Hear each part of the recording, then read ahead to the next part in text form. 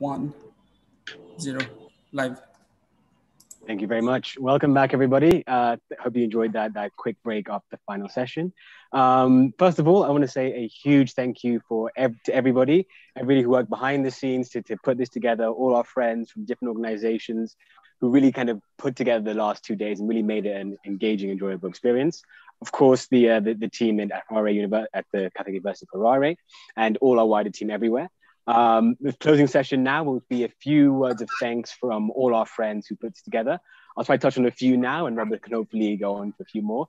But again, huge thank you to the Yunus Center uh, for this on, YY Foundation, uh, the Dutch Postal Code Lottery, the Grameen Creative Lab, Yunus Social Business, the Yunus Sports Hub, the Yunus Environment Hub, YY Ventures, Glasgow Caledonian University, of course, Catholic University of Zimbabwe, um, Oxfam, FAO, People's Vaccine Alliance, and all the um, associates, managing directors, and everybody who dedicated their time and their, their weekend to really making this event what it is.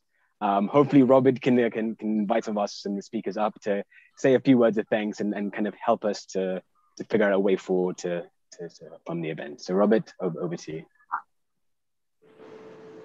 We have a couple of closing speeches, and I'll swiftly uh, move on to invite uh, the speakers.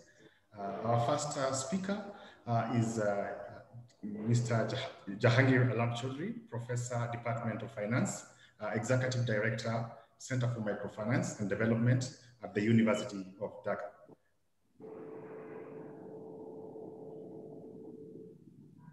Thank you, uh, Robert Akiko. Honorable Nobel laureate, Mr. Mahmoud respected guest speakers, ladies and gentlemen, Assalamu alaikum. Very good morning, afternoon, and good evening. I'm delighted to be part of this uh, wonderful enlightening forum. This is the concluding session of our today uh, forum on East Africa. It has been wonderful and very learning for us as we have discussed many issues on social business and three zeros.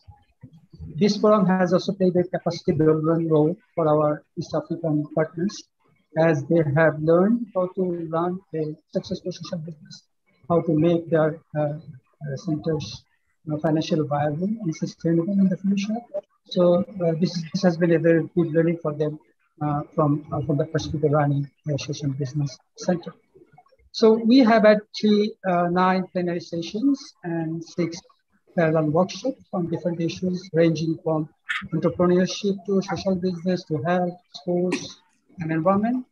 Uh, and we had also uh, uh the discussion uh, issue on issues related to uh, creativity, microfinance, COVID-19 pandemic, social impact, capacity building in the academia as well. And since I'm from the academia, I would like to report uh, what we discussed in our academic session. We had two sessions. One uh, was plenary and another one was uh, parallel working session. In both sessions, we had two uh, groups of people. In one group, we had senior people from our network who run, who run uh, successful uh, YSBCs.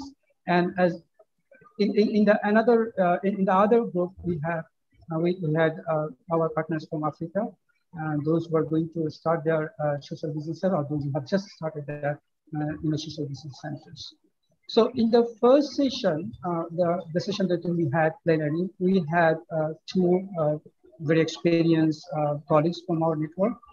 Um, so the first person was Professor Mark Shen, who is from National Central University in Taiwan, who runs one of the most successful uh, social center in the network.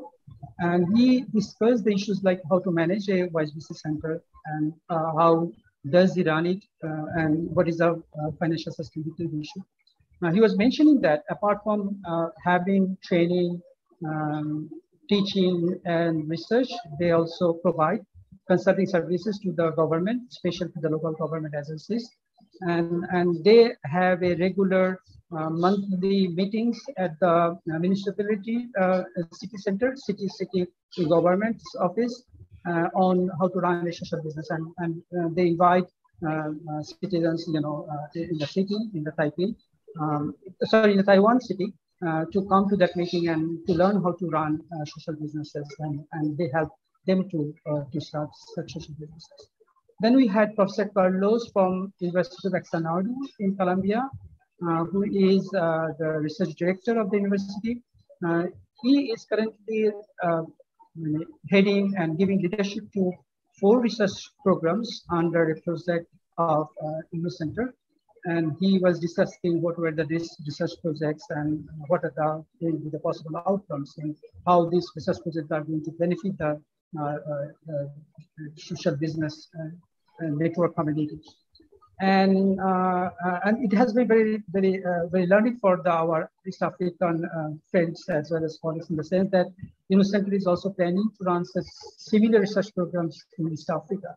So we were requesting our African friends to come up with research proposals and ideas which they could uh, they, they consider to be uh, very potential topics for doing research and, and which are going to help the our, our, universities and our partners in terms of the training and uh, teaching.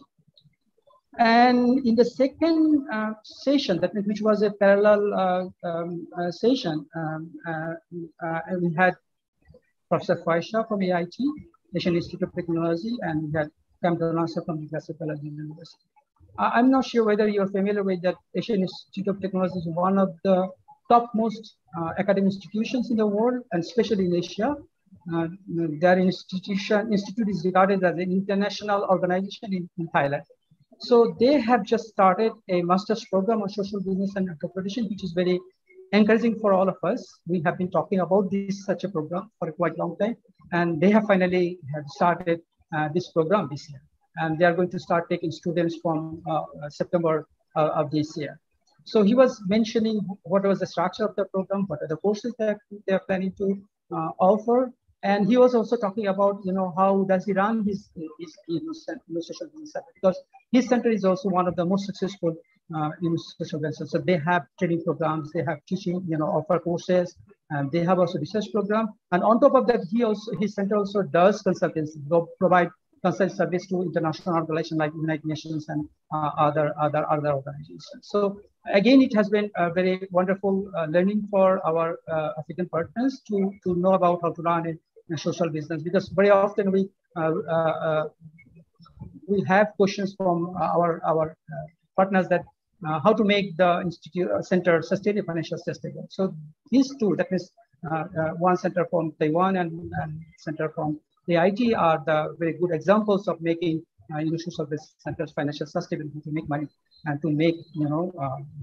make, make their centers financial sustainable and we so these are the you know uh, this, this is from the part of our experienced partners you know colleagues from successful business centers. Then on the other hand we had partners from african countries those who have just started their social business center or those who are planning to start their center. So they were actually uh, learning from them uh, regarding the management issue uh, how to run it and how to um, you know, um, make it make the centers potential, you know, future center financial system. So this, that was like you know knowledge sharing, you know, uh, from uh, between these two groups of people. And uh, again, one thing is that uh, particularly the, uh, the, African partners were talking about, you know, uh, how do, they could could be able to, you know, initiate courses, you know, at their universities and and they were asking Faisha uh, about you know how could they get help from AIT. So uh, that issue was, discussed, was mentioned by uh, Professor, uh, Professor Shah, and and hopefully we'll be able to uh, initiate similar programs or similar master's program in African countries that with the help of our partners in Africa.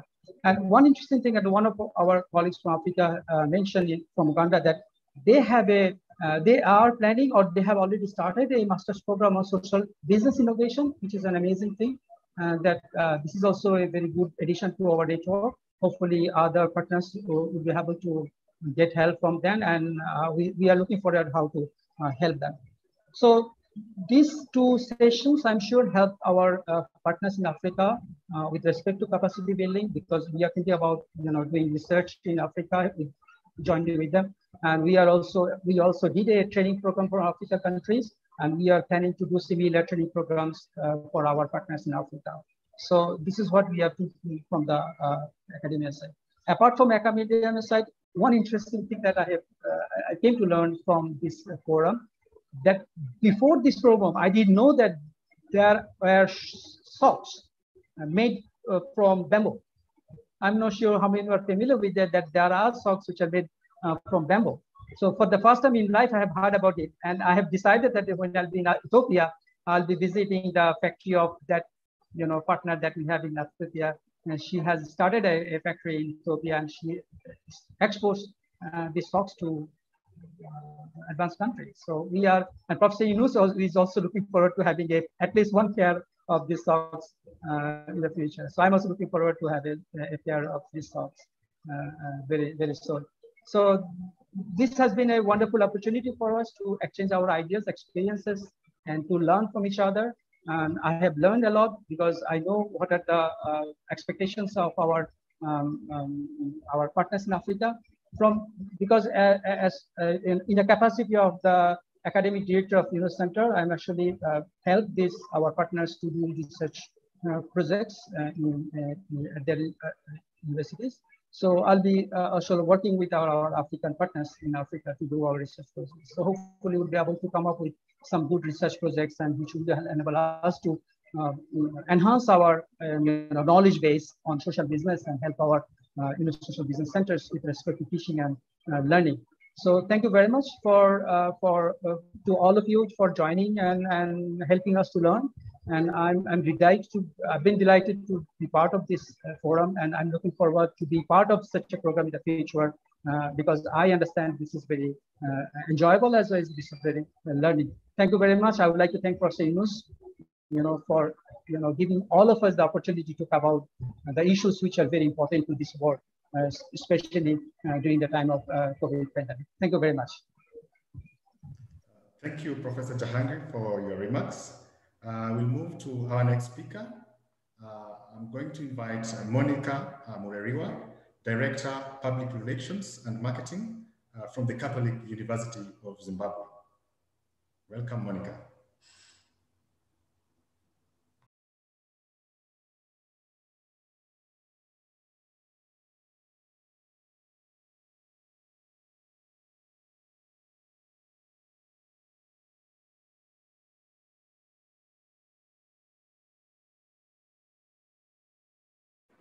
I think she's on mute. They have to unmute it. You are on mute.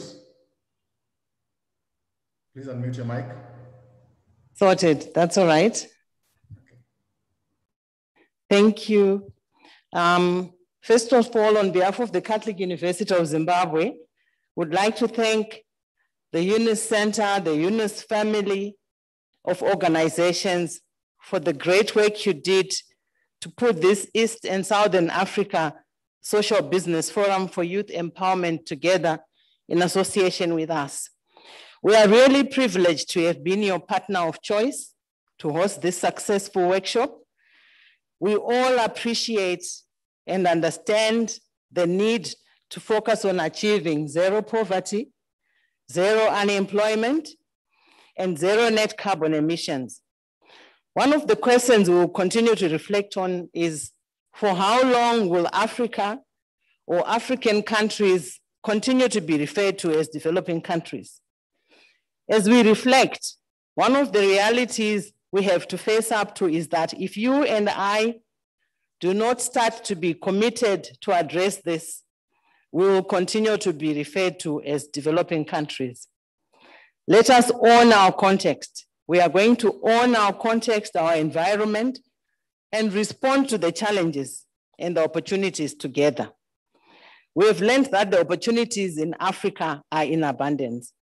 And we really look forward to the collaborations, the cooperation that we will engage in to ensure that we realize these opportunities for the benefit of not only the 1.4 billion people in Africa, but indeed the global impact. Because we said we are going to work together and that we are moving together forward, supporting each other leaving no one behind. We also learned that the message is more about collaboration, cooperation, more than competition, a collective human effort to make a difference. And throughout, the tone has also been around good governance.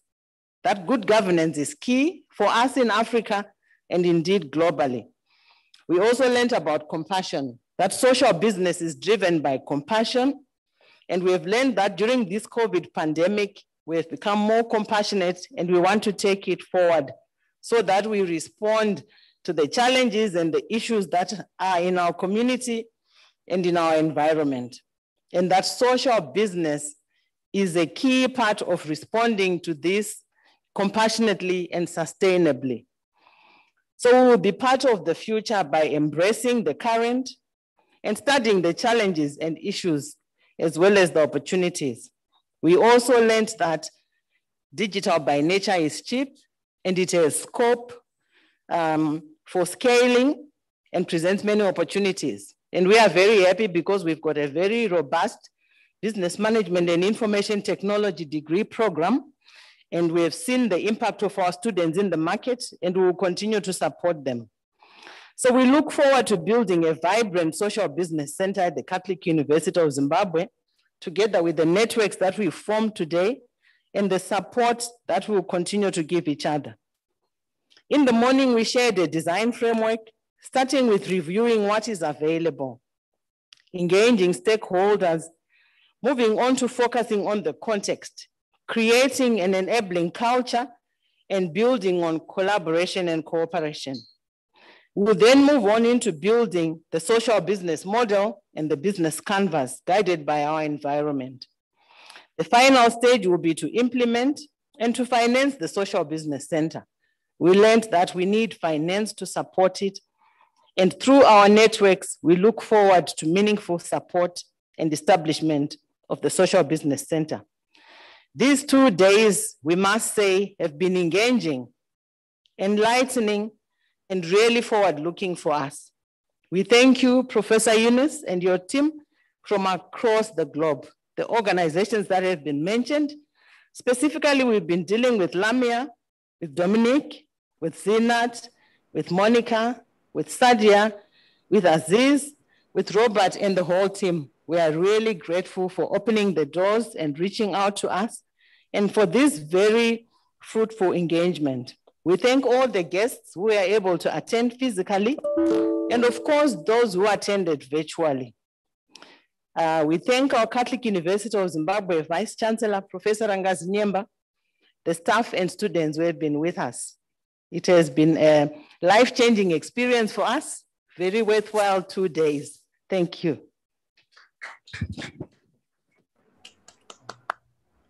Thank you. Monica, uh, we'll move on to our third uh, speaker, and uh, I'm going to invite uh, Yannick Turner, who is the President and Managing Director, Kigali Foreign Affairs Council. Yannick, welcome. Thank you very much. Uh, for some reason, my light just went off when you start speaking. Anyway, it is uh, it is great to be here, and I want to say thank you very much to Professor Yunus for this fantastic conference. I had a chance yesterday uh, to participate a few uh, sections. It, it, is, it is amazing the conversation we're having, and we really need to have more this conversation here in Africa in our communities because um, I was just speaking yesterday to the, the, Canadian Parliament. I was telling them, you know, uh, the conversation they're having about Africa in the Western countries has really to change because Africa is the future and Africa is where everybody should be. So it is great to see uh, having uh, this conversation here in Africa, on the continent, especially in East Africa. I don't want to take much. I'm gonna, I want to mention two, three points because uh, I know the speaker's coming after me. And I really want to specifically address the young people, the young entrepreneurs who are attending uh, uh, the, the, conference today. It, you know, it, has been always in many society when there's problems and challenges, we always intend to push uh, solutions to others. You know, the mayor's program. This is the mayor's problem. This is the you know the foreign partners or aid countries to help us you know solve these issues. But we never put our center ourselves in the middle of the problems and try to find the solution. Be the one leading the solution, uh, find, find the solution. And it's always interesting, you know, how young people who are the majority of our continent, 7%, uh, 75% of the population under 35 years here, uh, we have been left behind when they're having conversation on resolving challenges we have in our community. So a conference like this is very important because it's including us uh, young people on the continent in the conversation and how we could drive uh, uh, uh the change and finding solution. So I want to talk about something interesting. I find interesting. You know, when you look people we have in our societies, heroes in our communities. Uh, you could look, you know, Dr. Uh, uh, Nelson Mandela in South Africa, Dr. King, uh, and other, you know, uh, Gandhi in India. They're always people who are normal, like everybody. But uh, what made them different than the rest of the society of the generation is they made a choice. And that choice changed lives in their community. So what I want to tell to the young people who are attending to the entrepreneurs today is you could be our next Nelson Mandela. You could be our next Dr. King. You could be our next hero of a society or a community. And you don't have to be in politics. You know, most times like, oh, I gotta, I gotta run for the mayor or, or the member of the parliament to make a difference. You don't. From your side of entrepreneurship, you could really change uh, our communities. And there's so many examples of entrepreneurs who have been changing lives on this continent. And you could be our next one. We see um, for the last 10, 15 years, with technology integration also in our community in Africa, with more young people exposed to sharing information, we're seeing a trend of young people taking a lead. And I want to encourage uh, uh, uh, the participant today to take the tools and what we learned from the conversation yesterday and today to really drive this uh, home and drive and looking around what can we do. You know people always asking me you know i'm telling speaking to different young people on the continent like well what can i do? You know i don't have phd you know like professor muhammad yunus you know i i don't i don't have money like you know bill gates what can i do? But it's always interesting because it's never about it's never about uh, how much you have it's about are you willing to make that choice and use the small you have to make that difference? You know, Nelson Mandela could have been sit, you know, suffering like every black person in South Africa, but he said, no, I gotta end this. I gotta do something about it. It, wasn't because he was strong. Well, the other heroes also because they were stronger than the, the, the rest of the, their society and generation. It's like they made that choice with little they have and they made impact and difference in our communities. And today they are heroes in our society. So there is so many opportunities when it comes to entrepreneurship in Africa and East Africa. It is a matter of use what you have. Look around you. You don't have to go far. And it is okay to fail. You know, I know we have this culture, most of us failing is bad, but failing is one of the way to learn, you know, and it's okay to fail. It is okay to keep trying and keep trying and keep trying. I want to finish with two interesting examples. Uh, I met this young girl in Rwanda almost 10 years ago, and she started this uh, uh, a startup company called Hey Hey. And I was very impressed and amazed by her story because she didn't come from a background of business. She didn't come from a very entrepreneurial uh, family. She was a, a young girl who saw challenges around us in our community and said, I want to do something about it. The problem was we have so many farmers who didn't know where to turn when they're looking for information, when they're looking to learn. And she decided to create a, a, a, a technology, an app where you could text SMS to uh, this app asking about uh, uh ask about, about your, your about your farm farms agriculture questions you have, and they will send you advice or information coming from the government or coming from other sources. And this has really helped change the farmers in terms of knowledge and knowing, because most of our farmers are still doing traditional farming. And this wasn't a way to solve an issue that she saw. And that made a big difference. And that had an impact on a society here in Rwanda. Another good example is the famous one, Zipline. Zipline, which is a drone company that help deliver blood to uh, different countries in Africa, now in Rwanda, going to Nigeria and Ghana. It's a very interesting concept. You know, we used to take, you know, you know, three, four hours to deliver blood from one hospital to another hospital, from a center to another center you know, these young people saw we could do something about this. We could use technology and the tools we have around us to really change this. And now we used to take three hours to deliver blood. It takes, you know, 20 minutes using a drone to deliver blood. So what I'm just saying is this. It's not, a, it's, it's not about having a PhD or master's. It's about uh, looking what you have around you and use that and starting now, not tomorrow. And as young entrepreneurs, I think we're the one with the tools to change our continent and our community. You know, we don't need foreign aid. I strongly believe foreign aid is not the solution to our problems, but entrepreneurship, social uh, business, it is what our continent need. And the tools and the power to do this is with the uh, young people and the entrepreneurs who make 75, who make 75% of our community, our continent. Uh, so I want to encourage all young entrepreneurs, please go back home, use the tools, connection, and what you learn from here, connect to the community, and let's not just end the conversation and continue as we move forward. But thank you very much, and I'm so glad to be joining you today. Thank you. Uh, thank you, Yannick, uh, for your encouraging news to the African youth. Uh, I'll swiftly move on to our fourth speaker.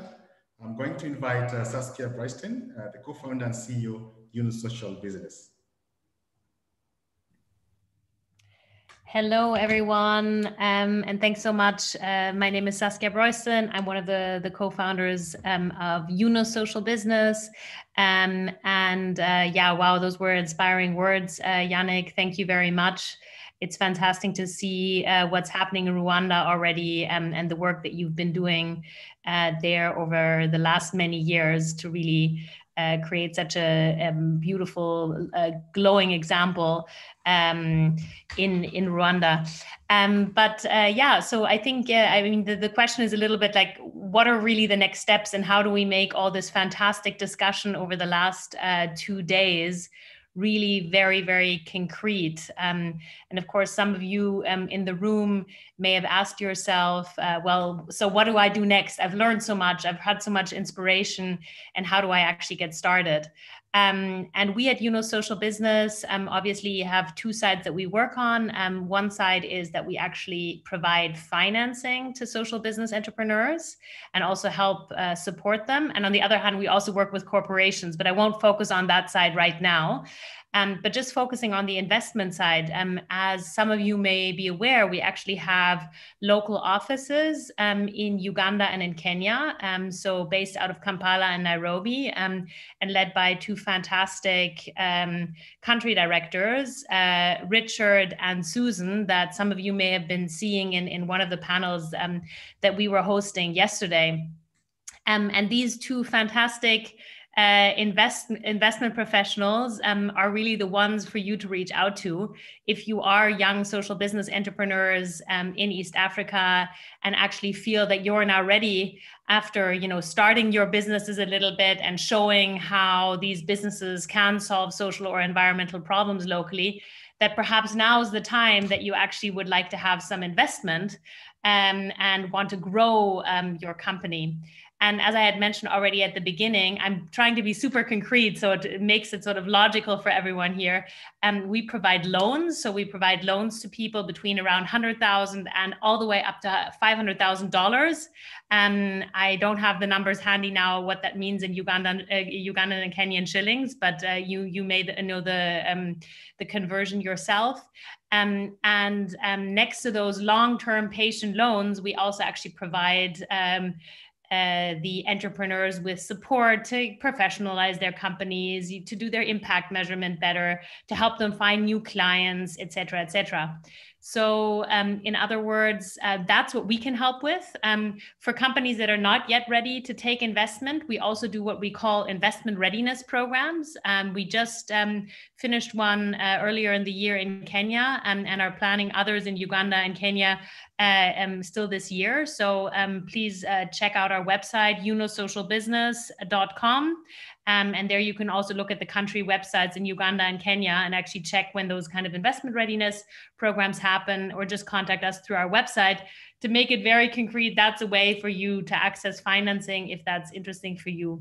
We're planning um, in this next year to invest around um, uh, 10 million um, across our different offices, which would mean something like two to three million um, in Kenya and Uganda. Um, so there's some money available, um, and we hope that we'll find great entrepreneurs. So I think that's that's one of the concrete things that I can offer, um, and to make it. Uh, yeah, to, to offer concrete next steps for some of the fantastic entrepreneurs that have been uh, listening in. Um, perhaps there are also a couple of larger corporations or big companies here that um, are asking themselves, well, I'm a normal business, but I find the social business appealing, but I don't really know how to do this or how to get started. Um, we also do a lot of uh, at Yunus Social Business. We also do a lot of work with helping large, uh, either large family companies or um, particularly corporations, to create social businesses on the side. Um, so saying uh, you're a normal business so far, and you I don't know sell whatever it may be that you sell. Why don't you use your core competences to also create a social business and to solve problems um, through your the, the things that you actually know, the core competences that you actually know. Um, so if that's something you're interested in, um, do reach out to us as well, um, and um, we can help you with that. Um, I see that there's lots of potential for large companies also in uh, the East African region um, to do more. I feel that the whole area of, let's say, CSR or corporate philanthropy is still very much at the beginning, and we say forget about CSR and corporate philanthropy right away go into social business um, so that's that's another way for people um, to get concretely involved and just reach out to us uh, to see um, how we can perhaps do this together so um, yeah, I'm, I'm, I'm really excited to, um, about what I've heard here over the last couple of days. Uh, there's lots of energy um, in East Africa and across the whole African continent. Um, and uh, I fully agree with uh, Yannick before me. Obviously, Africa is the future. Um, and so let's define the future by also the future of business, not using the old type of business, but using the new type of business. Um, and, and that is business to solve problems rather than business to create problems, which I think we've all done enough over the last many centuries. So thanks so much, everyone. I'll leave it at that. Just wanted to be very concrete and, and looking forward. And I'm, I'm super excited if, if uh, some of you may want to reach out. Again, website is yunussocialbusiness.com. And um, you can happily reach out to us if, if you would like to proceed with your entrepreneurship. Looking forward. Bye. I'll hand over back to uh, the moderator. Thank you, Saskia. I really enjoyed your session yesterday. Uh, now I'm going uh, to invite uh, Hans Reitz, who is the co-founder Grameen Creative Lab. Hans, welcome. Hello, hello everyone. Uh, yeah, the last two days was uh, the step from the last 100 days. So we start the journey 100 uh, days ago. We start the journey more earlier when Professor Yunus and the Yunus Center with all the different departures, the Grameen Creative Lab as a daughter, the Yunus Social Business, just listen to Saskia, the Yunus Environment Hub, the Yunus Sports Hub. We all are here with the same spirit where Professor Yunus saying, let's have a focus for the next two years on the East African stuff. Let's put all our energies together. Let's be completely aligned and say, we are here to focus on Africa and on East Africa. When we started the journeys, of course, it's always magic to start with Africa. You know, Africa means so much for us in the world, and there's so many uh, wonderful stories. And we just listen some of them. Uh, one of them, what I always uh, remind is uh, uh, is Wangari Maathai. When we look backwards to her life, to her achievement in Kenya, uh, we see once the future of Africa is female. The future of Africa is women who have minimum 51% of the solution in their hand. So if we come with now with the Grameen family and with the you social business family and with all the stuff, with all our focus to Africa, then we are here to say, hey, come on, bring, let's meet, and don't forget to bring all your problems. Together, we are surely we can find for anything our solutions. The problem solver and the idea behind of the Grameen family is, yes, there's a problem, we solve it. How big, how small it is, let's do it. And uh, in this journey now on East Africa, and it will keep on going, of course, for the next years. I'm really excited to learn all the problems, thinkers, and the creative aspects what we saw in the last two days. It doesn't matter it's a, it's a creative industry or it's a creative economic sector, but it is about creativity. And uh, we are widely to invite you, all of us, every single uh, chapter of the Grameen family, of the Yunus family, to be part of us and to share with your ideas and with your needs what you have. One thing that was particularly touching me a lot in the last two days was Vanessa Carey on her speech when she saw the actual pandemic, the actual aspect about the world. When she says, some says of us, this is the biggest crisis than the Second World War. She said it's much more bolder. And the Professor Yunus picture in the very beginning to say to be on the boat and people all uh, in the high water. And it's not only about getting this money on the boat, it's getting even the higher beta on board. And to see the sense of urgency where we are in. It's all of us to see how we can give the best of me in a we. And the best me of a we is selfless. It's not about me. It's not about my organization. It's not about us. It's about really see the sense of urgency where we are. And I'm so thankful for Professor Yunus to uh, push us mm. in the direction of selflessness, to push us in a way to see the bolder pictures and remind us solutions are, the only solutions are what we have. At minimum 51% is female. Let's shape a future where we have an equal dignity of every beings, use the power of creativity, entrepreneurship, solves it, and sees a sense of urgency where we are in. And the future is definitely more than African, is the youth in Africa. Thanks a lot to be part of this.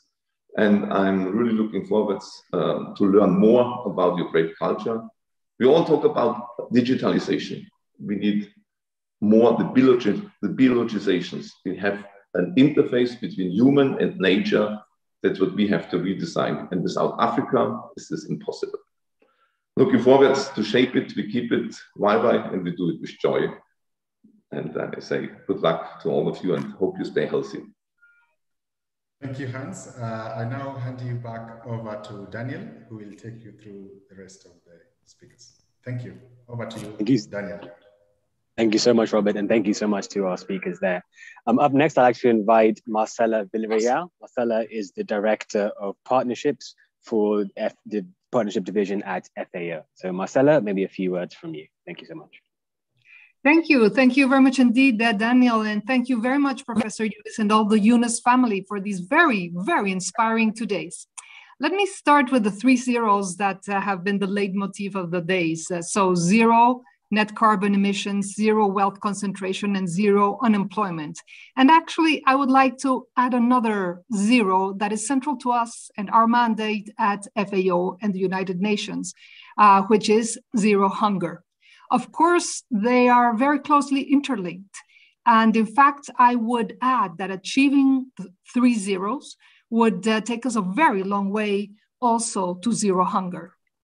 Hunger uh, has been increasing uh, recently, last four years, after decades of decrease.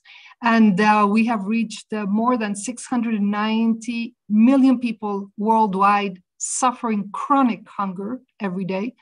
Uh, and that was even before COVID. Uh, with COVID, just last year, FAO calculates that at least 100 million people additionally, probably 130 million additional people, are suffering hunger in a chronic way. Now, why is it that hunger has been increasing in the last few years? Well, of course, climate change, um, economic downturn, like uh, with uh, COVID, and there you go with the three zeros. Uh, and in addition, very importantly, due to conflict and armed conflict. And there we go with another aspect of the zero hunger equation that is very central indeed.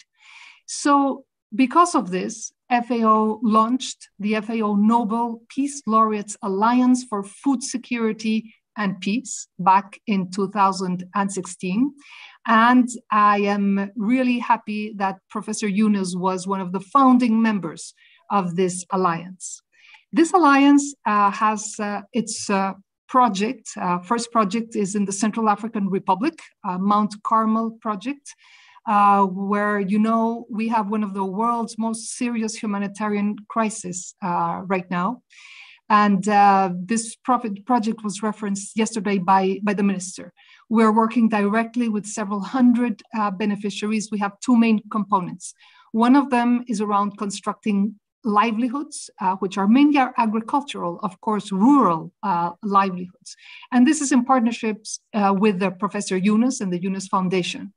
Uh, in this sense, the project is building capacities, training youth to help create the opportunities and the possibilities for them developing their own social business activity and also improve soft skills that are important to and specifically to successfully present their social businesses proposals to customers, community, and also to investors. The intervention is also going to help organize mentoring and training sessions for youth groups to be able to help them create cooperatives in agribusiness activities that can be operated as a social business owned by the community to increase income opportunities for smallholders.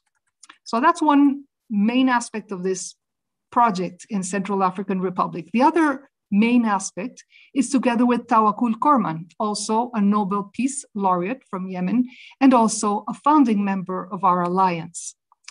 Um, and this component is about training youth in non-theological and technical skills to create a thriving network of key communicators that can disseminate messages pertaining to peace building, social cohesion, conflict re resolution, of course, and very importantly, women's role in promoting peace, coexistence between religions and cultures. I would like to say that arriving at zero is possible. Zero, the three zeros plus zero hunger. It's possible. But it won't be possible if we don't take into account certain elements. And these are elements that have been coming up again and again uh, in these past uh, two, two days. Very importantly, of course, voice to women, women's empowerment, women's economic empowerment is at the core of any development intervention in the world. Uh, without women, more than half of the population, it's impossible for us to reach any any goal. Um, and more specifically, uh, without their participation, we will just be losing out and of course, we all know that the Sustainable Development Agenda uh, is about leaving no one behind. Of course, leaving half of the population behind does make, doesn't make any sense. Now, um, the uh, importance of credit came up again and again. And centrally, it's very important for women to be able to have access to credit, um, which is not always possible. Actually, it's very, very difficult, as has been discussed. However, credit is a main issue, but there's other issues, like, for example, land. Uh, women usually don't have land to provide as collateral for credit. And uh, around the world, our FAO numbers show that uh, more or less 19% only around the world, I'm talking north and south, so only 19% of land titles belong to women. And this is without counting the size of land, which is usually bigger when it's men, and the quality of that land, which is also usually better when it's men's. So access to land is fundamental, but also access to all of the other productive resources necessary for agriculture, including information, credit, of course, I also, I already mentioned, but information, digitalization, um, um, knowledge networks are all fundamental to be able to create equal opportunity in the rural areas. And we have a study where we calculated that if we were to give rural women the same access, same, not more, that men already have in their own rural areas, just by that increased access to resources, the number of hungry people in the world could be reduced by at least 100 million. It's a fantastic power there. And yet, this is most of the time not present in policies. The other important point, and this is something that Professor Yunus also keeps reminding us all the time, emphasize rural areas. Urban areas are not the en engine of the economy, as Professor Yunus uh, tells us. We shouldn't be looking, as he says, to rural areas as a supplier of labor and food only. If we really want to have development that is able to change the world in a positive way, to be more sustainable, to look at uh, emissions, to look at employment, we look, we need to focus on rural areas and rural development and rural dwellers empowerment and of course women's empowerment. So, and this is not always the case. We saw in the Millennium Development Goals, development agenda from 2000 to 2015, there was not a single mention of rural areas, not one. There was nothing around rural areas. It was as if that agenda was looking into urban possibilities for development, get into industrial and urban opportunities, uh, forget about rural to be developed. Today, we have a much better agenda, the Sustainable Development Goals agenda, where rural areas are very, very present. But if governments don't put their will into rural areas, we will not be able to change the world. We will not be able to address massive issues like, for example, land grabbing, which is big and growing in many countries of the world. Important, reduce inequality. Inequality uh, has been growing much faster than any other issue in development. And actually, while the world has been able to reduce poverty, and actually significantly, if you look back from the 60s to today, but inequality has been increasing within the countries, between countries, worldwide. Even while poverty is reducing, inequality is increasing. And this should make us think also about that zero that has to do with the zero wealth concentration is very important. And I'd like to conclude by just reiterating uh, what I saw in the video, and I really like this video. Nothing is impossible. Really, nothing is impossible. We can reach all of these zeros, including zero hunger, of course, uh, which is fundamental for us. We can, we can reach zero, all these zeros, if there's the will. And the time is now.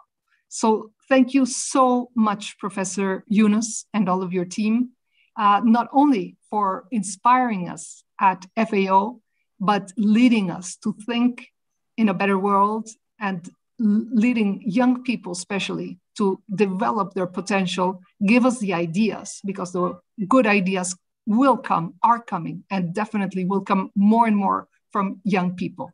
Thank you all very, very much. Thank you oh. so much, Marcela. Thank you so much for those insights. Um, up next, I'd like to invite Professor R.M. Zinyemba, the Rector and Vice Chancellor of the Catholic University of Zimbabwe, to give us a few closing words.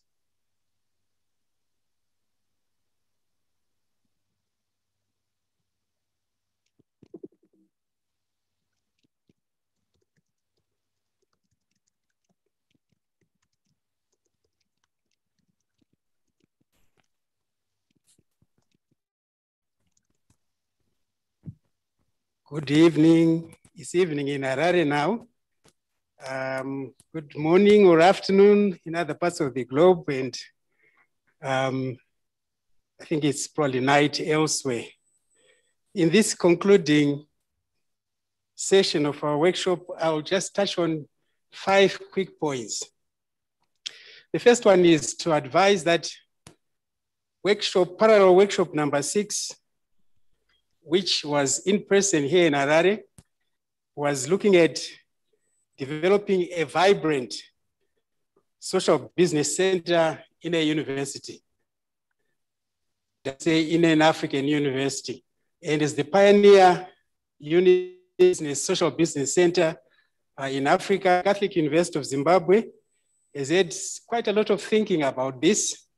And we developed as my colleague Monica described to you, certain principles that we think are generic enough to be extrapolated in the African context. Of course, they can be extrapolated in other contexts as well. Um, and I'm glad to see that there are other universities which have a longer tradition of this uh, than ourselves who are just beginning. And we do hope to learn from them. So within that context, the generic principles that we developed, which Monica described, and I won't go into the details for them, we see ourselves as moving to another level now. And that level um, is really defined by a formula which reads form follows function. Before we firm up the actual form that we are going to take, we want to define our functions. What are we going to do within the university and in the community? I'm glad to let you all know that some of the points that were raised by speakers in this session, um, for instance, Hans was talking about the future of Africa lying with women. To report that 90% of our attendees in Harare, the in-person, are women. So Hans, 51% that you mentioned is really nothing when we look at what we have here. And I want also to let you know that these young women have great ideas in terms of social entrepreneurship. They are all involved in one way or another in social entrepreneurship, either ongoing and they are looking at scaling that up, or they've got ideas to start. And we want to use the Catholic University of Zimbabwe as a hub for all of us in Zimbabwe so that we have programs not only in the university, but in the community as well. Some of them will develop enough momentum on their own with perhaps our help, and I would want um, Yunus Center to assist them uh, in developing these. So that's the next thing that we are going to do. We are going to use a very simple formula in the way we are going to work. It's called the GMR formula, goals, methods, resources. We have been defining our goals. We want to then go on to decide what methods we are going to use. Then we'll come to the resources that are necessary for us to meet those methods. And um, Saskia, I'm very glad that you were very open about what's available in terms of resources. We don't want to start from resources ourselves. We want to be able to dream, to say what our goals without being limited and confined by resources. Quite often we tie our hands and say, I can't do this because I'm a poor person, or I don't have the energy. We want to dream first, define our methods, and then when we get to resources, we will look at what we have locally and where we need assistance like the 10 million that Saskia you talked about, we will be asking for some of that in Zimbabwe. You mentioned where 2 million is, 3 million is. Well, in Zimbabwe, we'll be asking for some of that.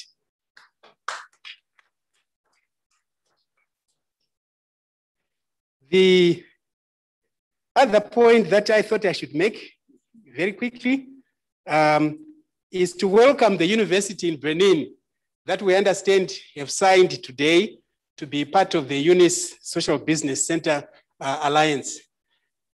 We want to work with you. We invite you to get in touch with us so that we can share notes, um, so that we begin to develop an African paradigm when it comes to the Yunus Social Business Center business, uh, social business in Africa. And finally,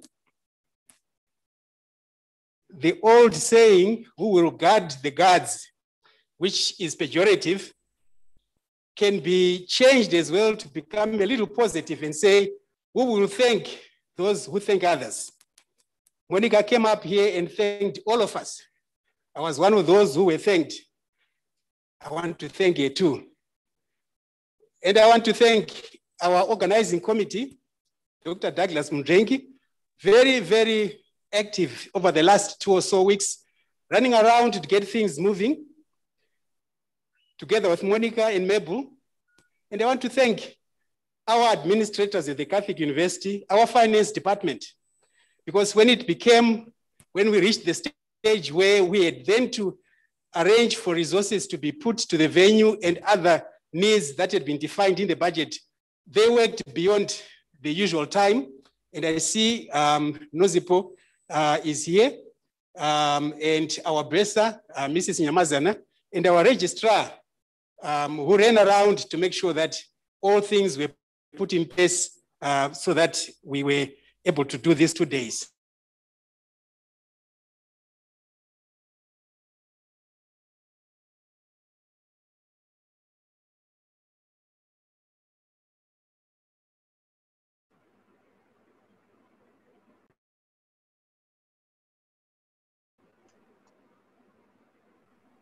Hello, Professor, are you still with us?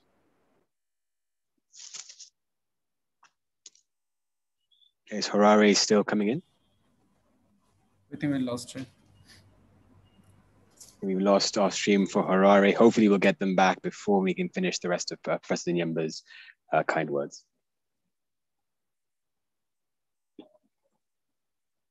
If not, I can I can move on and we can circle back if that's okay, tech team. Yes, they are disconnected. So move on, please. No problem.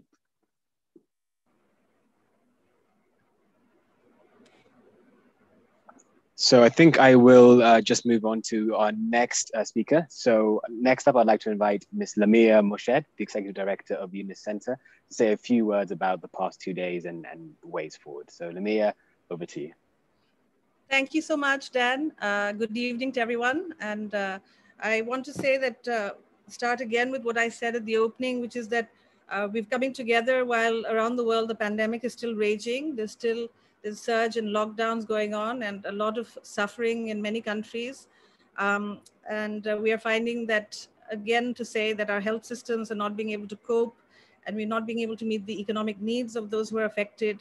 Uh, we have vaccines, uh, but we are not being able to provide those vaccines except in a very asymmetric way, with nearly all of them going to developed and middle income countries and uh, very few. Uh, we heard in a pan healthcare panel that only 0.01% of those vaccines are coming uh, to Africa. Uh, so, you know, in this situation, what Professor Yunus is saying resonates more strongly than ever. He said that there is no scope for us uh, to go back to the old system because that system was failing us before and is failing us even more so uh, during the pandemic. He is saying that we must redesign systems and especially our economic systems. Um, but when we talk about redesigning systems and making changes uh, to bring zero wealth concentration for zero poverty or zero unemployment uh, and zero net carbon emissions, it feels like uh, very large goals and very overwhelming. Uh, it looks like grand actions that we cannot have any impact on as individuals. Uh, but Professor Yunus, even having after having built very large institutions in his life, has said that there's no action that is too small or no person who is too small and that we should not wait for others as there is not time to do that. Uh, we should not wait for governments or companies or big institutions to try to do everything to tackle these pressing uh, issues that we face. Uh, there is a huge power of the individual uh, who is packed with endless creativity, uh, which needs to be unleashed if we want to solve some of these problems in any meaningful kind of way. Uh, and as I said, we don't have any time. We must act now, all of us. It's, uh, this is at the root of the idea that uh, Professor Yunus presented at this conference of the 3-0 clubs uh, for youngsters to mobilize to change the world. Every person, whether they're 12 or they're 35 or anything in between, can already get acting to internalize the three zeros and start seeing how he or she can impact on this issue uh, in his or her everyday life. Uh, it was also the purpose of this forum, uh, the East Africa Social Business Forum for uh, Youth Entrepreneurship. Our purpose for this forum was to mobilize uh, young African entrepreneurs, young activists from Africa to connect with each other, to, to learn from them, uh, and to see if they can work together with the practitioners of social business from Bangladesh and from around the world to find sustainable and scalable solutions to the problems that they care most about. We wanted to be able to provide the platform for those connections to be made. We had, uh, as you heard before, we had nine, nine panels and six work workshops. I was uh, very happy to attend every one of those and saw some really phenomenal speakers from a variety of uh, backgrounds, uh, talking about the many programs and approaches that are already being taken uh, in Africa uh, to tackle healthcare and economic challenges of the pandemic, how to unleash creativity to solve problems around them, to solve uh, unemployment issues, climate issues, agriculture, and so on. We wanted to see if microfinance and social business, which we have uh, experience with, could be an important tool in this, and whether this could help in accelerating some of the actions that are already taking place. Uh, Yunus Center took the lead in this, uh, uh, organizing this forum, but we would not have been able to do this without our partners who we invited to bring in their networks. And because, we, because of them, we were able to get so many of the uh, uh, brilliant speakers from Africa. And I want to mention, of course, the Catholic University of Zimbabwe, Grameen Creative Lab, Yunus Social Business, Yunus Environment Hub, Glasgow Caledonian University Yunus Center, Yunus Social Business, YY Foundation, YY Ventures, Oxfam, FAO for bringing wonderful members of their network in Africa and beyond to organize and join the sessions. We had more than 100 speakers uh, from the, for, for this forum. Uh, we used a Zoom platform uh, and with, even with the lim limitations, we had 1,150 registered participants from 72 countries uh, and 150 people in the parallel workshops. This was a phenomenal gathering. Uh, we, uh, as part of the Unison U Foundation project in uh, East Africa, are focusing on uh, the academic part. And uh, we made a lot of very good connections to African universities today and yesterday. And we hope to build on those connections to take our project forward. Uh, we have uh, today announced, as uh, Professor Zinyemba mentioned, we signed the YSBC with Benin, making it the second YSBC in the African continent. we are very delighted for the hard work that CUZ, as the first YSBC, put together to organize a physical event with 50 persons and staying throughout the forum, also organizing their own sessions and parallel workshops. Thank you very uh, to the very distinguished speakers, also for highlighting how important it, uh, it is for us to come together to network, accelerate our actions, and give each other courage and inspiration through these very challenging times. This was very important part of this for us. I want to just end by thanking my colleagues at the Yunus Center who work very hard behind the scenes, uh, to thank the MCs who work very behind the scenes to make this successful, to Professor Zinyemba, uh, Douglas, and Monica from CUZ for making this a success, for the behind the scenes uh, contributions also from YY Ventures in our communications part and also in providing the rapporteurs for this. Uh, I'd like to end with that and uh, say that uh, we look forward to see you all again in June for the Social Business Day that will take place in Kampala and in November for the Global Social Business Summit organized with GCL and for the Social Business Academia Conference. Thank you very much. Thank you so much, Lamiya. And once again, I'd like to say thank you to the Yunus Center team for all the hard work they've done behind the screens and behind the scenes to, to pull off this this weekend. Um, up next, we have a really, really special video um, video speech. Um, this is being provided by Dr. Jane Goodall. Um, she's the founder of the Goodall Institute, as well as a UN Messenger of Peace, and also one of my personal heroes. So um, I think tech team, if you have the video, it'd be great to see that. Hello, this is Jane Goodall, and first of all, I wish I could be um, live, but it didn't work out. And secondly, I'm really honoured to have been asked to say a few words during this conference that celebrates the new Yunus Centre East Africa Social Business Project. And some of you may be wondering why I've been asked to say a few words. I mean, I spent so many years studying chimpanzees, so if any of you know who I am, that's probably what you know. But the reason that I've been invited, there's, there's two reasons.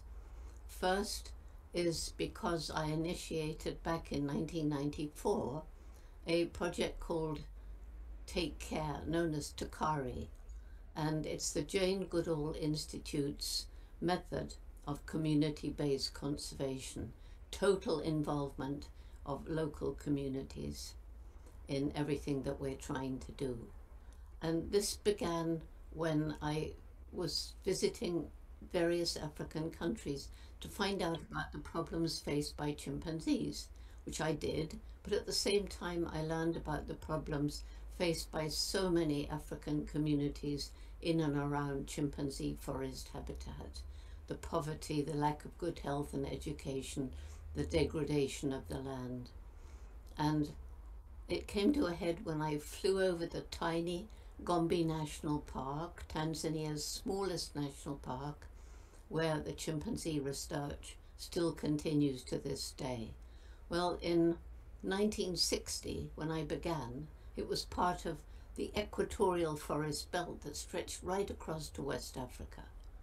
And when I flew over the park in 1990 in a small plane, I was shocked to see, yes, I knew there was deforestation, but this was total. The park itself, 35 square kilometers, was just a little island of forest and all around were completely bare hills.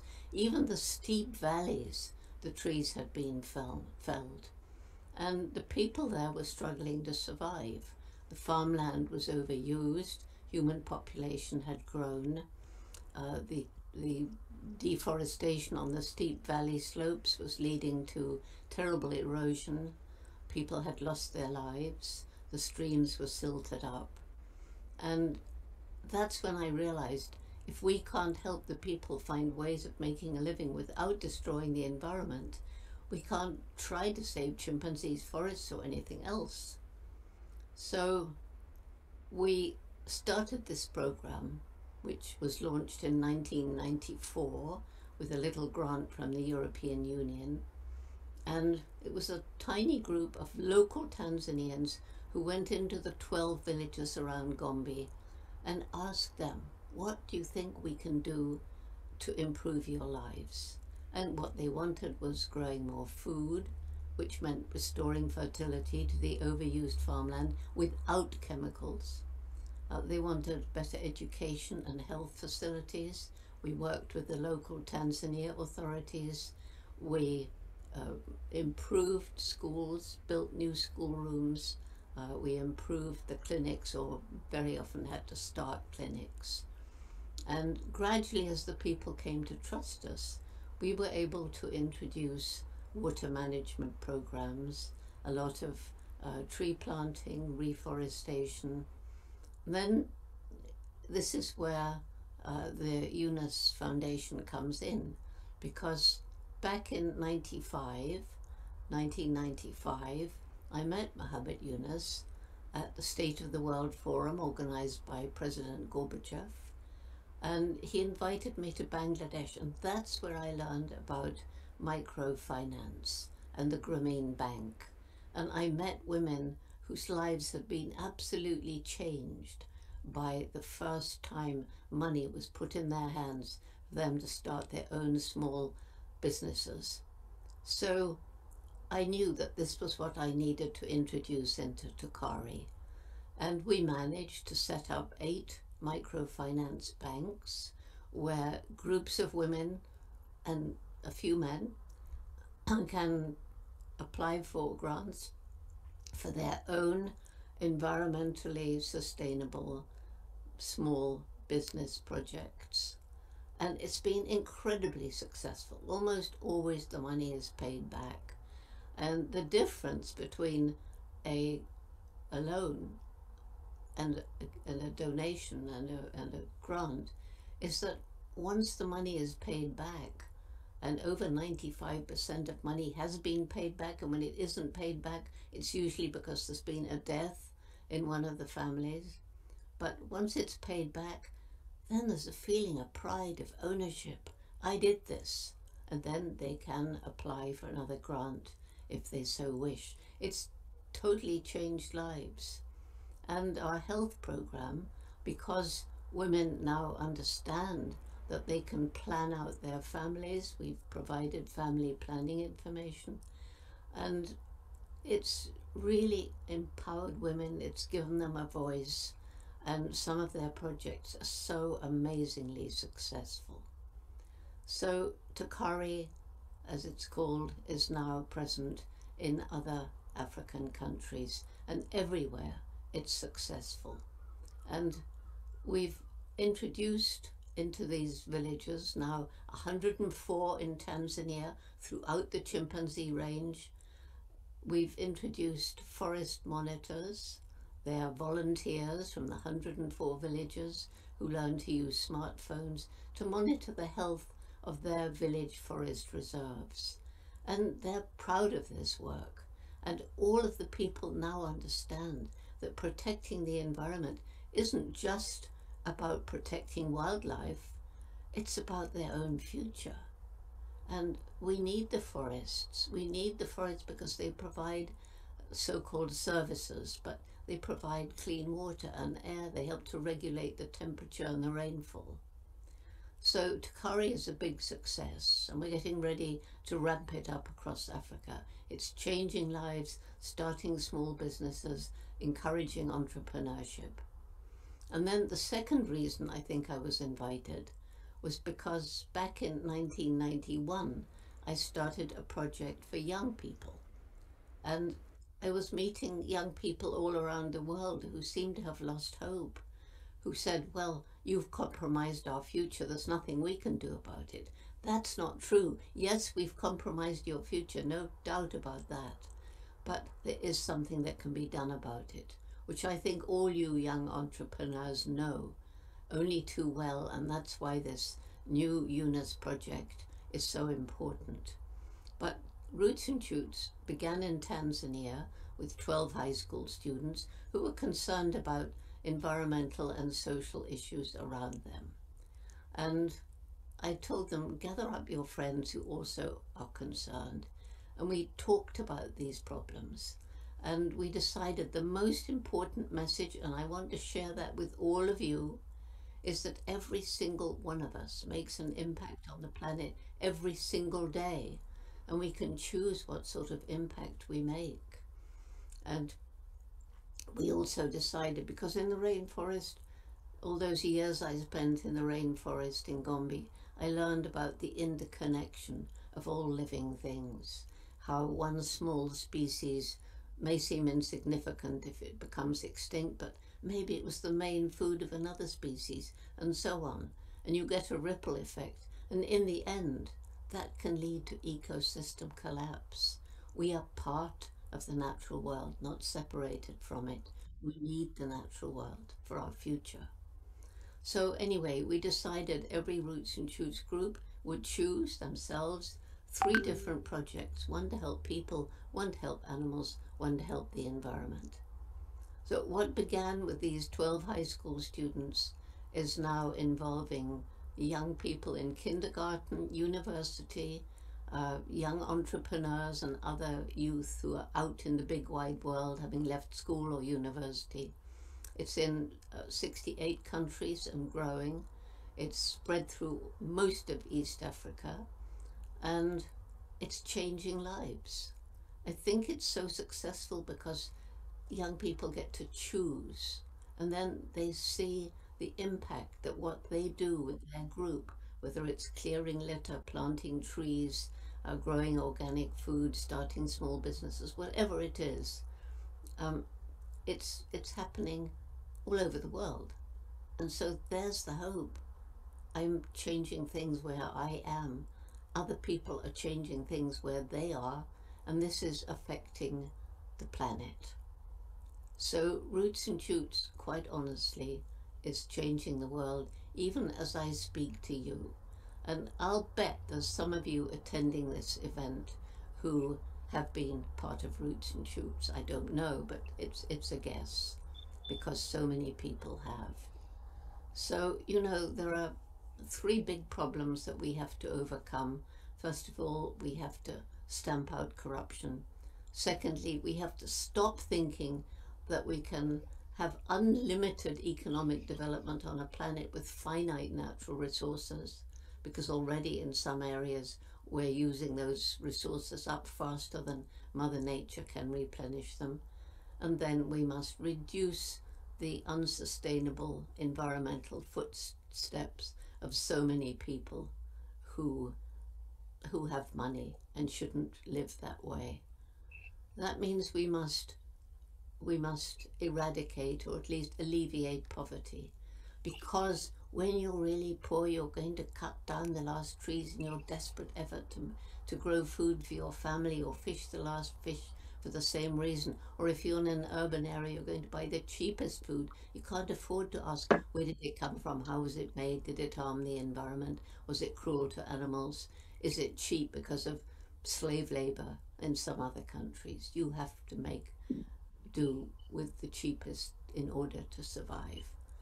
So I'm really excited to see how this this project develops and I wish it all success and I hope that all of you who've been part of this event will leave inspired, encouraged and ready to do your bit to make this a better world. Thank you so much. Bye for now. Amazing. Wow. What an incredible, incredible video message.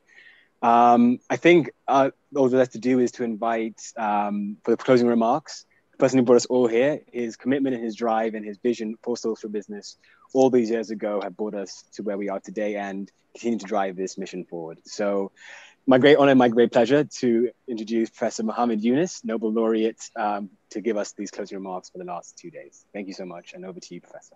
Thank you, Dan. Wonderful. Well, let's uh, come to a conclusion. We have a long day, uh, lots of uh, things to share, but uh, oh, I felt very excited, uh, very energized, because when uh, we are planning for it, when we are actually starting this forum, we kind of reached the limits of our frustrations about the way world is running around us. Uh, first the vaccine was very very frustrating thing that we have been uh, fighting about. And then it gets worse every day the uh, vaccine situation.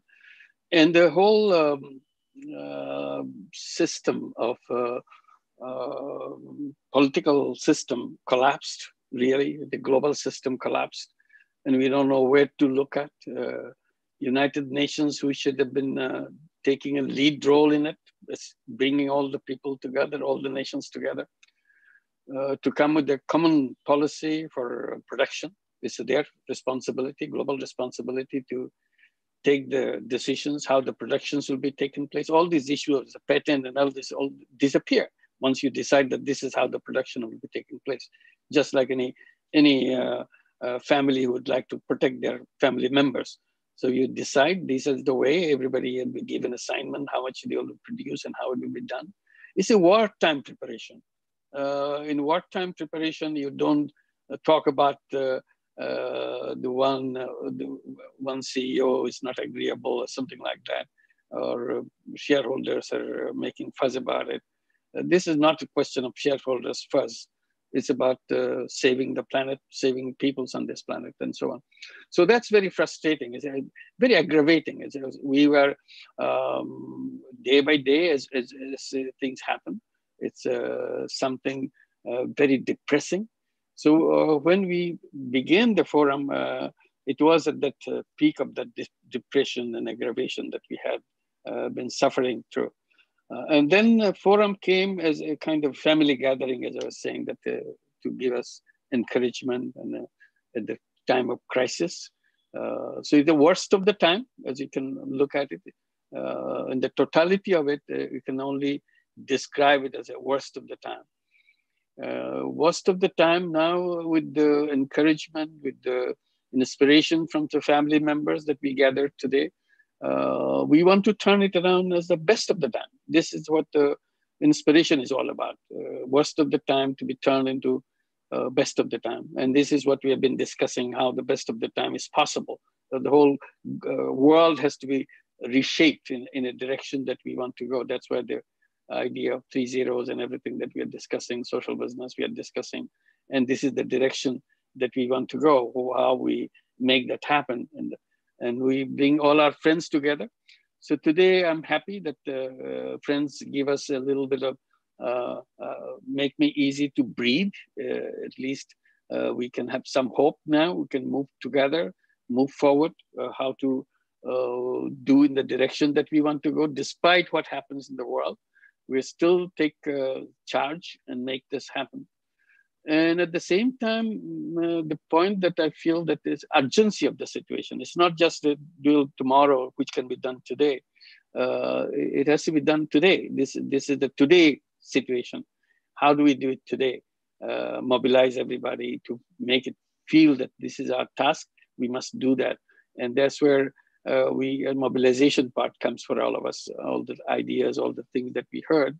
Uh, it's enormous mobilization, mobilization of minds, uh, this is this is where we went wrong in the minds, and that's where our universities come uh, to the shapers of the minds, and that's this responsibility of the social business centers. Is the responsibility of giving the shape to our minds. What what what the young people should be looking at, and this is uh, that's why the more we can energize the university community, uh, academic community to reshape the minds of the young people so that we can move in the direction.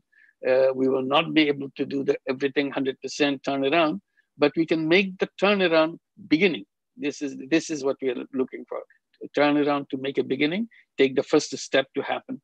And the fact that we hold this uh, uh, forum in East Africa uh, is very significant for us that we want to do it because today we have discussed that uh, idea about why Africa is so important for all of, for the whole world. It's, uh, as Africa is the place where young people would be the one who will be taking the lead in the entire world.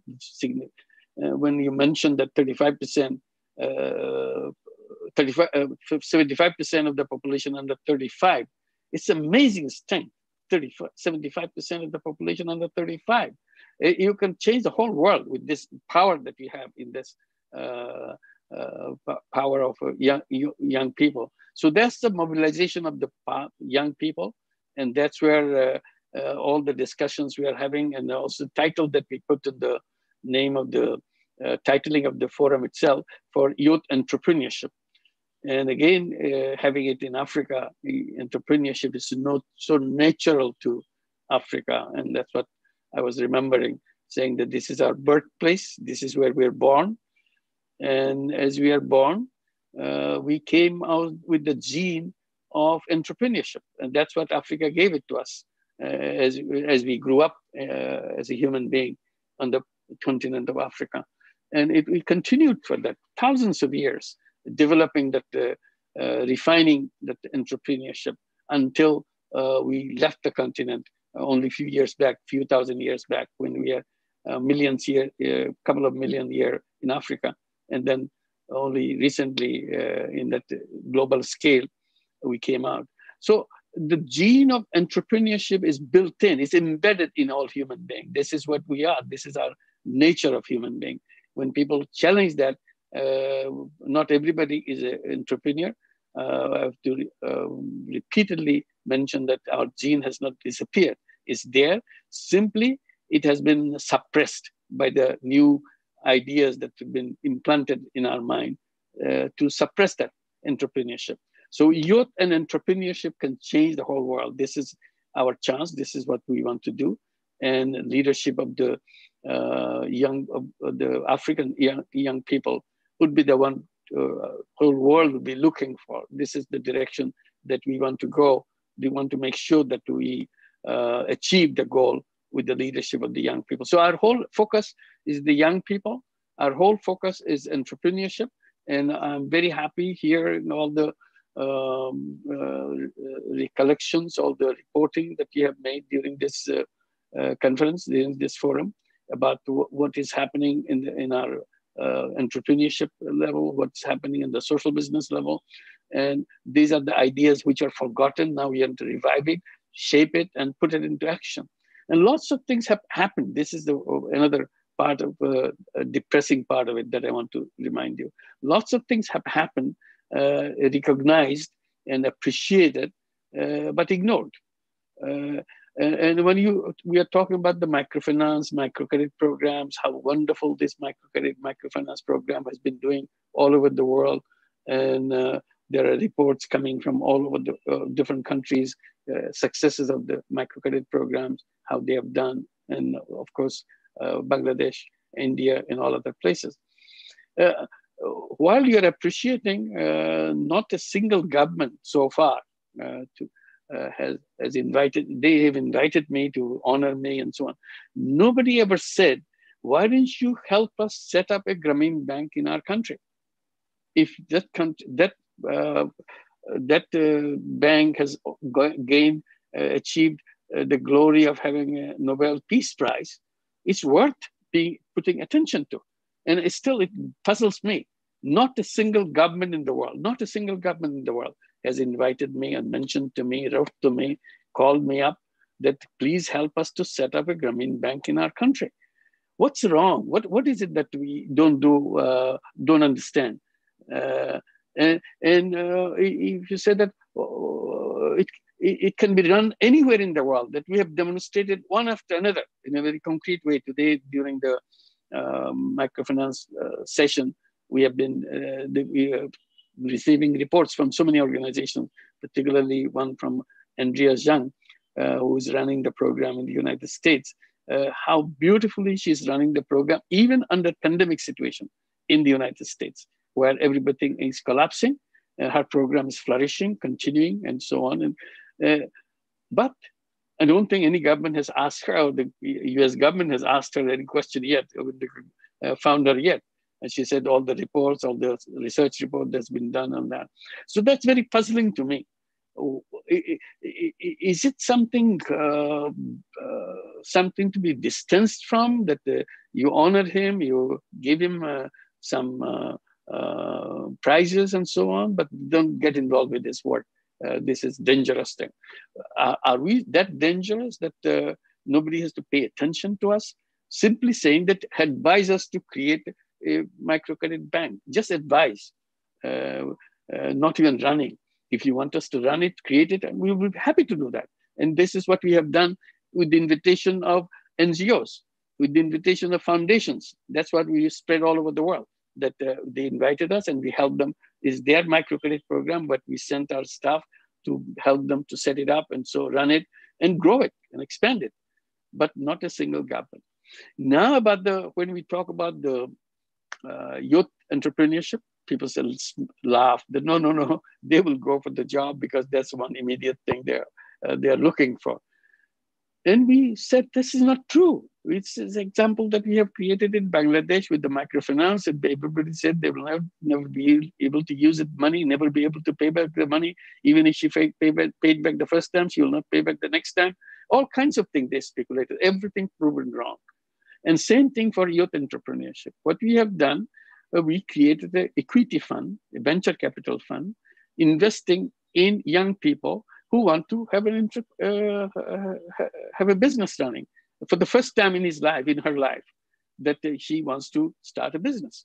And we believe, trusted, as we trusted the uh, Grameen borrowers uh, out of nowhere with no possession whatsoever, no collateral. And same thing with uh, the young people.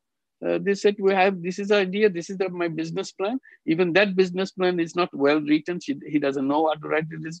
We helped him develop a business plan and our own people helping a young person who has no idea how to run a business helping him to think about the business and have a business drawn up. And we become an investor in that business. We become a partner.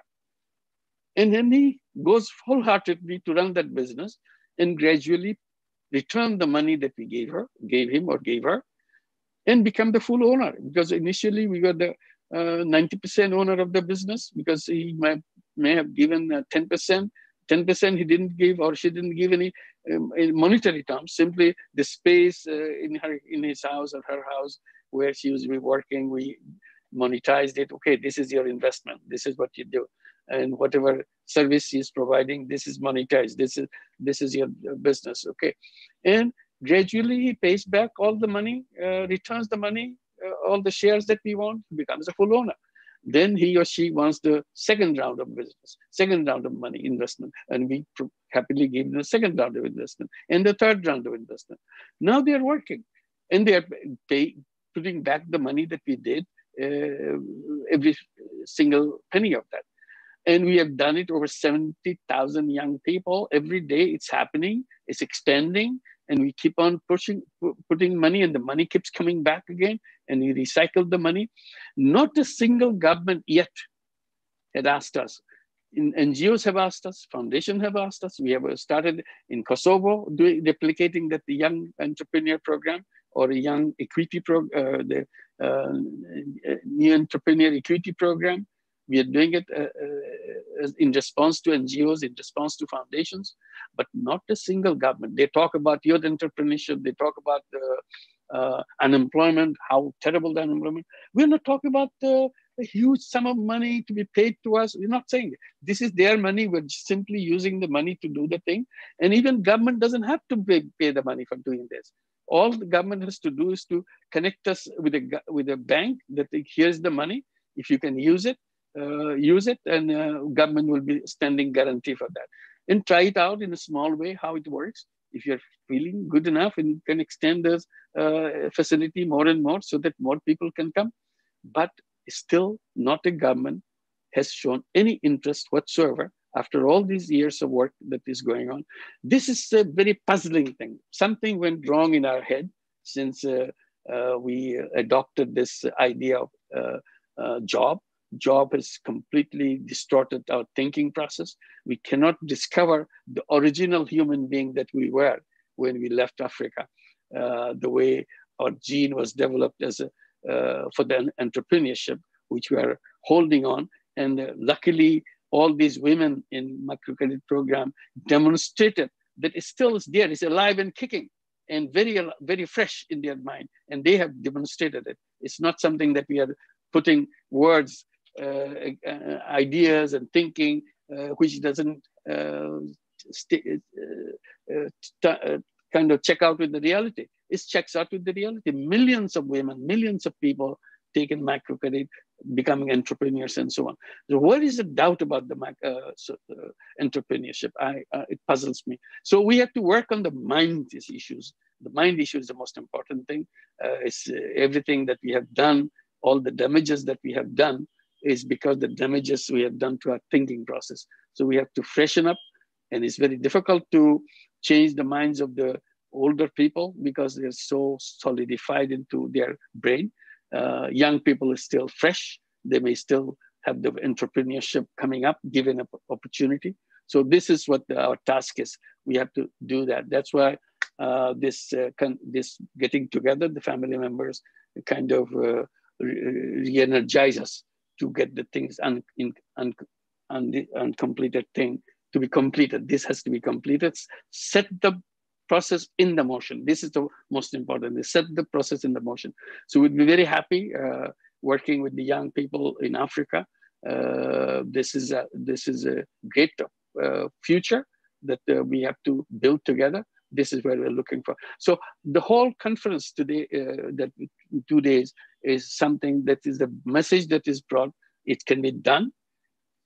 Somebody has to stand up and get it done, and we are the one volunteer ourselves to get it done. So I'm very happy to have you uh, uh, together with all the friends together. Let's make, make it happen. And uh, while I conclude, I want to thank uh, all the speakers who spoke uh, in this uh, marathon sessions after sessions and so on. wonderful deliberations. Very significant contributions made by everybody and all the people who are behind it, all organize it with the uh, Yunus Social Business with GCL and YSB and uh, Sports Hub and uh, Environment Hub and everybody. Uh, uh, and particularly, I'll be thanking uh, Catholic University of Zimbabwe. It's a wonderful thing that you have done. Let's give a big applause for University Catholic University of Z Zimbabwe for, for the wonderful role they have played. Give it really, really made it a physical one. Uh, it's not a, a halfway done. It's a real physical one. They carried out the full program as a physical one. We, you inspire us. We can get anything done with that kind of an inspiration behind us. So we want to thank and all the people at the Yunus Center and the, uh, those who are working very hard to make this possible as a virtual program and uh, Lamiya and her team. Uh, let's give them a big applause. Uh, wonderful work that they have done. And also uh, our tech team, uh, we were worrying that something will go wrong, uh, it will collapse, the whole system collapse. It didn't collapse. And I'm the last speaker, so I can guarantee you that it didn't collapse. So we, we're here, and it's wonderful that uh, to get you together. Let's say, let's keep energizing each other because it, things are getting depressing and aggravating every day. Uh, let's within that we have to build the, uh, during the worst of the days let's commit ourselves to make the best of the days, uh, best of our life. This will be during this time. And this is a commitment we want to keep. And thank you very much for uh, this forum and everybody who is behind it. Thanks a lot. Good night.